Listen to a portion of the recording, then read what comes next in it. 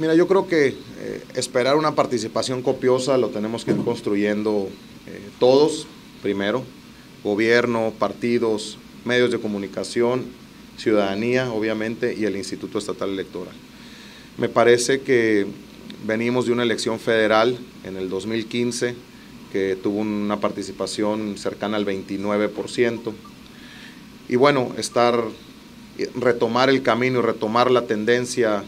positiva de alguna manera, eh, regresar, no seguir, no, no bajar, me parece de alguna manera alentador para construir un mejor, mejores condiciones de que esto siga creciendo. Es obvio que no, no es lo deseable, no es lo que este instituto desea y, seguramente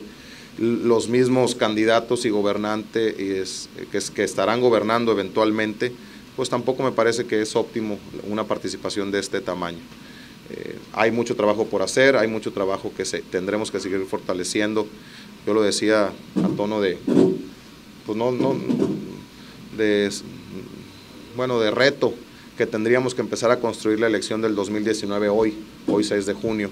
para esperar resultados mejores y no podríamos empezar a pensar en participación ciudadana seis meses antes de la jornada y esperar que la gente se vuelque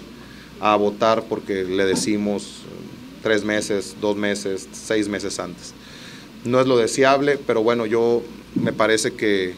que el 33% no es algo para presumir, pero sí es un elemento que nos va a dar la oportunidad de construir un escenario mejor en la próxima elección 2019.